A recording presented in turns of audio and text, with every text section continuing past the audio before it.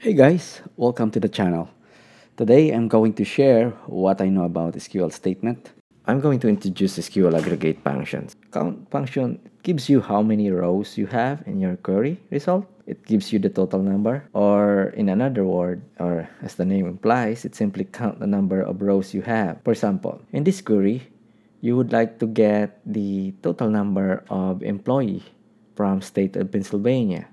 So you see, I'm using a count function here. We just enclose employee ID. Technically, for some, you will see that they're using asterisk, but uh, personally, I would not suggest that. I would prefer you to use any uh, columns or even number. So let's run this one. There you go. So here you see 5. It means that in state of Pennsylvania, you have 5 employees. If we are not using count, what you will see is 5 rows.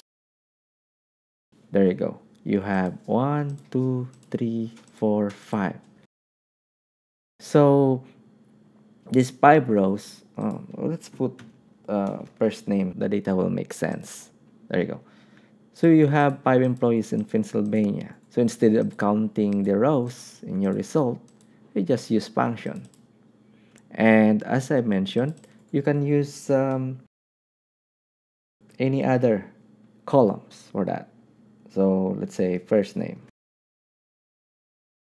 And it will just uh, do the same, 5. Because it is just count the number of row. When I say you can use even a number, you can use 0. And it will do the same, 5. And asterisk, it will just do the same.